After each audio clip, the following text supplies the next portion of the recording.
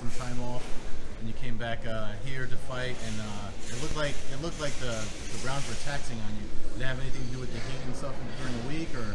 Ah, no, I, um, for one, there's like kind of like that initial initial feeling when you don't know how the fight's gonna go or how how the round's going, and once you get hit a few times, then you kind of forget about it, and it's just in the back of your mind that you need to push a little bit harder.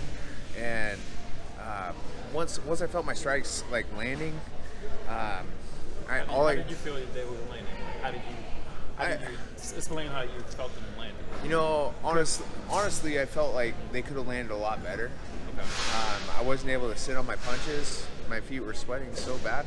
I was like slipping. It was. Yeah. I mean, I, I s- my feet sweat profusely anyway, and um, yeah. So when I was when I was unable to get grip on my feet, it's like all my punching technique went out the window. So then I kind of kind of looked like I didn't know what I was doing.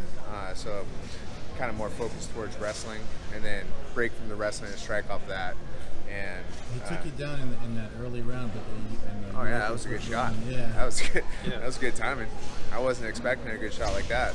Um, my hat's off to him. Did you get the sense that he he spent he spent his energy there though? Because uh, obviously in the later rounds you, you seem to capitalize on the exchanges. Uh, yeah, you know, um, I mean, anytime you exert like that and you get a takedown, it's like you, you have to exert just a little bit more before you can relax some. And I know this from doing it a lot. And once I exploded out of the position, I was able to hang on him and kind of make him pay for him exerting that force. And uh, I can't. I could I could probably go on for hours like talking about little details about the things, but like, anytime something like that happens, you gotta you gotta immediately react and get out of the position and make the person hang on hang your weight or try to get your weight hanging on them so that way they're they're getting more tired. Rick, you know, you displayed some excellent boxing, a lot of head movement, and I, I'm surprised because as a martial artist myself, you got to be cautious about knees and the head kicks going on with that. Yeah. Is did you figure out when fighting Yuri, even though he's unpredictable, uh, he has excellent ground game. Did you figure out as the rounds get went on that you felt comfortable enough to use your head movement and try to dig into the body shots that actually work on it? Yeah, you know, I mean, like I said before, it's like when I have grip on my feet, it's like everything would be probably five times better than what it looked. I'm sure.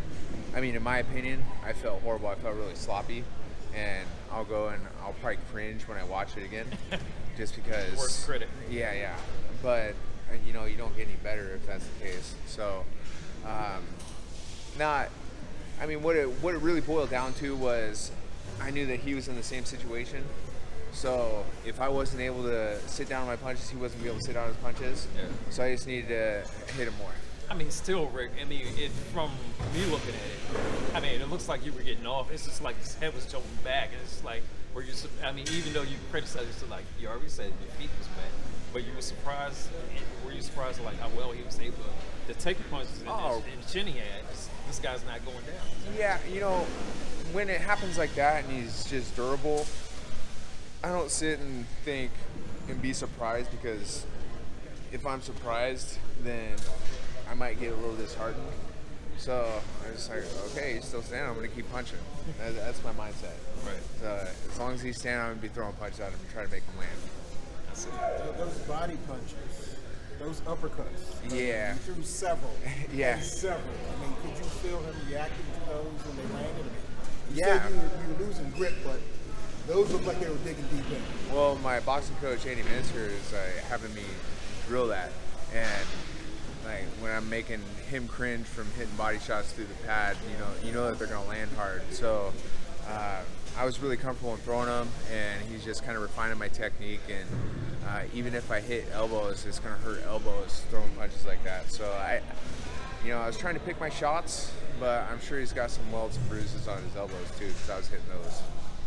Rick, also, um, you know, just take it back a little bit. You know, when contractors up looking for places to talk to, promotion to get with, what was one of the things and uh, that made you more comfortable to come with this promotion, and also, and you come from the other side of the coast, all the way from you know Portland, where you where you're originally from, just coming to DC. How early did you get here? How much did that wear and tear? You know, honestly, after after I ended my contract with the UFC and I let my contract run out, I was pretty close to hanging it up. how close? Like I very, was, really I was close. pretty close, yeah. If if What was the reason, if you don't mind? uh, because I was pursuing firefighting. And- you? Yeah, yeah. Naturally, So- is that something like that you always wanted to do? Oh yeah. Well, I mean, just recently, like within the last like three years, it was something that. This is a stereotypic thing. Like maybe you, I don't know if you talked to the, the heavyweight champion about that. You know, Oh no no as well. no! It's not. It's not anything like that. I went on some ride-alongs. I went on ride-alongs with some police officers, Okay. and I went on uh, ride-alongs with uh, the fire department. And hey, it's just, it's me. Right. It's just what I want to do. And I didn't know that until I did ride-alongs, and I didn't realize, you know, the team orientation and the family type feel.